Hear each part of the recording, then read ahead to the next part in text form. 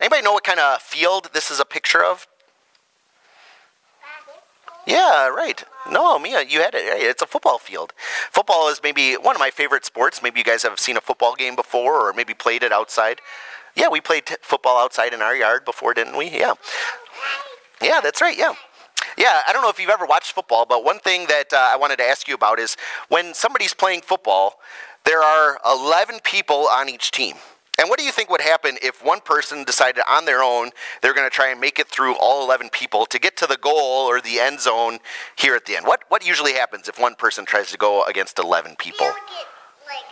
Yeah, right. Yeah, usually they get tackled. Usually they get taken down. And so if you ever watch in the game of football, usually it's not just one person who's going against those 11 on their own. There are other people that are what they call blockers that are in front of them. They're they're helping to try to push away those opponents so that they don't take them down, they don't tackle them, they don't get their way so that they can finally get the ball all the way to the end zone, all the way to the goal. Jesus is saying a prayer in the words that I just read, and I'm going to talk about it in the sermon. And he's saying kind of a prayer of protection for you as his children, as his disciples.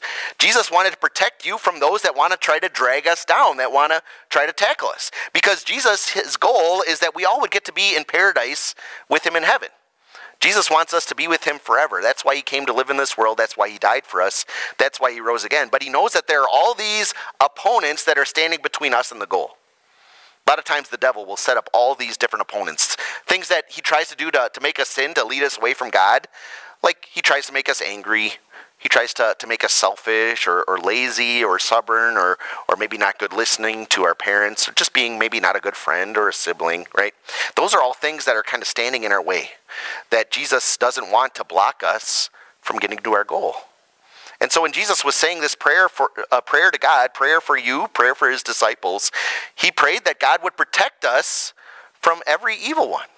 All those evil temptations from the devil and anyone else that would try to keep us from heaven. And it wasn't just that Jesus prayed for us to do that or to be protected from that. Jesus came and he knocked all of those defenders out of our way, those attackers.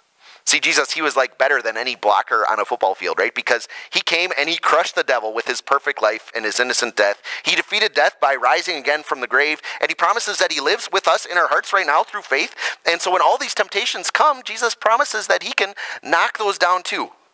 In fact, because Jesus loves you so much, he tells us that nothing is ever going to stop from stop uh, us from getting to the goal that he has planned for you. Jesus once promised, he said, I'm going to my Father's house. He was talking about heaven, and he said, In that house there are many rooms, and I'm preparing one just for you.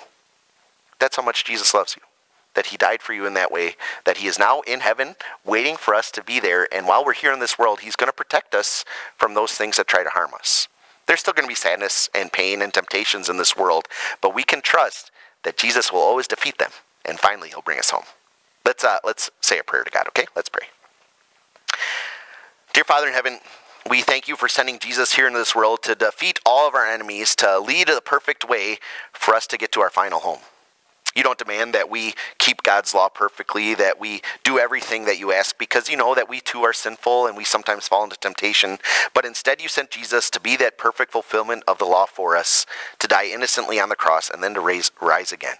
Help us always to live in this confidence, knowing that one day you will take us to paradise, to the homes, the rooms you've prepared for us.